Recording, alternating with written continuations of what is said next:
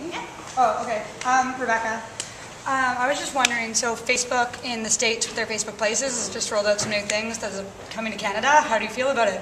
Uh, it's great. We actually integrate with them. So if you're on um, if you're on Yelp and you have friends that are your Facebook friends and your Yelp friends, you can see their Facebook check-ins and their Yelp check-ins.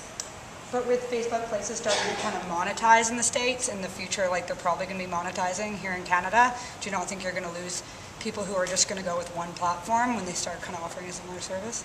I don't necessarily think they're going to choose just one platform because we have 16 million reviews behind us, and even if they have um, Facebook Places, and even if you can, even if they're offering advertising or whatever it is that they're doing on that platform, um, we're seeing that people are still coming back to Yelp to check out to see if they should actually go to that business.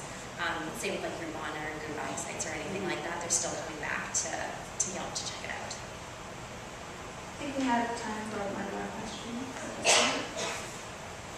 My question is of don't know the voice, so I. Um, around check-ins. First of all, I love Crystal and love Yelp, so uh, yay. Um, love Yelp because I of it as a review site, and I'm just wondering from a user standpoint, I I have to check in on Foursquare, Facebook, Yelp. I feel like I'm checked out by the time I've checked in. Um, so I'm just wondering how you see the of see that going in terms of Yelp? How important is the check-in feature for you from a business standpoint? And how do you see that sort of rolling out with especially with Foursquare, given that that seems to be the one that I think of as the check-in Sure. I mean, I think, personally, I think that Foursquare is cool. If the one thing that you want to do is check in and play games, which I'm sure we're probably going to get into as well.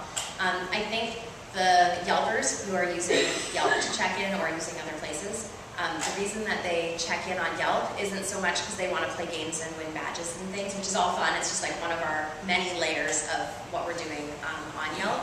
Um, but I think why people check in most often on Yelp is because then they can show when they write a review that they are you know, a regular at a place because they've checked into it a number of times, which means their review holds more clout than if they than if they don't. Now that system's still a little bit flawed because not everybody has an iPhone or an Android or is participating in check-ins even if. But that's kind of the way that it feels like um, it is moving towards. Um, we find that people on Yelp, they're not really there to game so much. They're not there to like, I mean, I know I made a joke when I came in, like, I'm the Duchess here, but the reason that I love that I'm the Duchess here is because I know when I go back and look at my review of W2, it's going to say that I've checked in here three times. And when somebody else goes to read that review, they're going to see that I checked in here three times, which means I'm somebody whose review hopefully is a little bit more trustworthy